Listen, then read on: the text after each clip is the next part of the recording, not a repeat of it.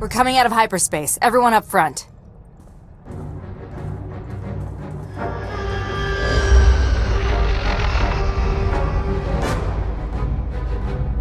There's the fleet. I hope you're right about this.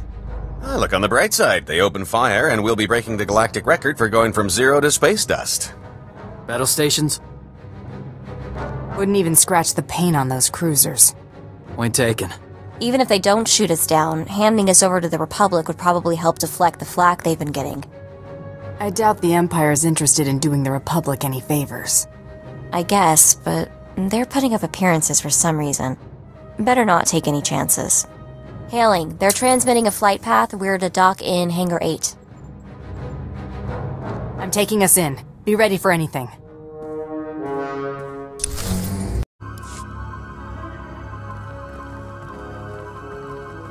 My presence was requested. I've been ordered to bring you before my lord, Darth Tormen. Submit to search and seizure and come quietly. I don't really care for that plan. Alien filth has no right to question Imperial protocol. You will not be allowed before a Lord of the Sith armed. You will comply, willingly or by force. Anyone still around by the time the lieutenant here hits the ground joins him. Seize this scum! Cowards! You'll all be court-martialed! What are you waiting for? I'm not scared of you.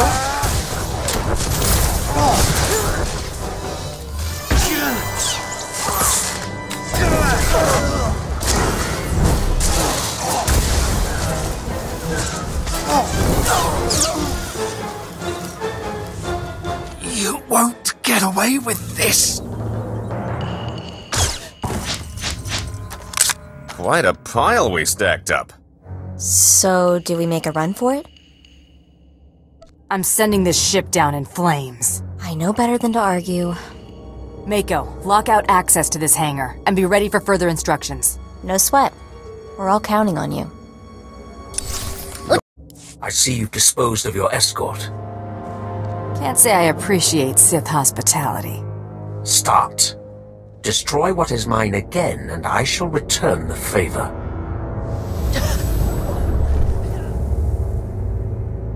Gonna remember that. Today, Corellia's leadership swore allegiance to the Sith Empire. Despite total occupation, the people openly rebel. What should have been a bloodless victory has escalated into full-scale war. The Treaty of Coruscant is no more. I want the Supreme Chancellor's head in my hand when I deliver victory to the Dark Council. You will provide it. What makes you think I'm gonna work for you? Refusal would be unwise. If wealth and acclaim are not enough incentive, perhaps revenge will motivate you. You have made an enemy in the Supreme Chancellor's closest advisor. Do what I ask and you will have your opportunity for vengeance. The sooner I get to break that Jedi's face, the better.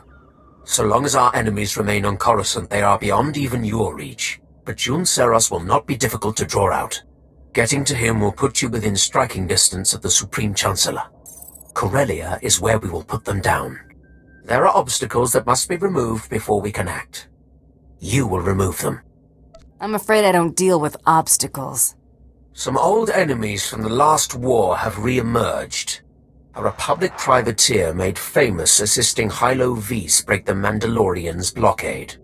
And a Coati noblewoman credited with orchestrating numerous successful uprisings on Imperial-occupied worlds. Consider them dealt with. This star chart shows the last destination of your first target. Make it his final. My subordinates will brief you upon arrival. Mako, the situation's taken care of. Unlock the hangar. I'll explain when I get back. Really? Uh, that, that's it? Okay, see you soon.